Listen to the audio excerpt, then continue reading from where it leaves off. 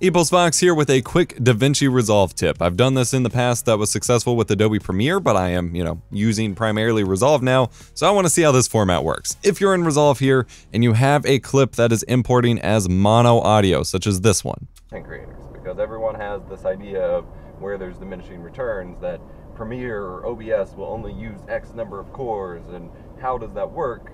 And I really the audio records mono. This is common. This is a dash cam. This is common on smartphones or if you have a microphone and an audio interface for OBS and you import it. And since it reads it as mono, Resolve interprets that as only being on the left channel. So in order to fix this, you need to select your clip or clips. You can do this either in the bin or on your timeline. However, if you already put them on your timeline, you will still need to do it on the timeline as well as the bin or just ignore the bin altogether. Right click, clip attributes, come over here to the audio tab and where it says format mono, you go down to format stereo and then you need to select for the right channel embedded channel one or whichever one is already being interpreted as the left. If you leave it on mute, it's still only going to be the left channel, whereas this way it's actually down, you know, mixing it all the way to stereo.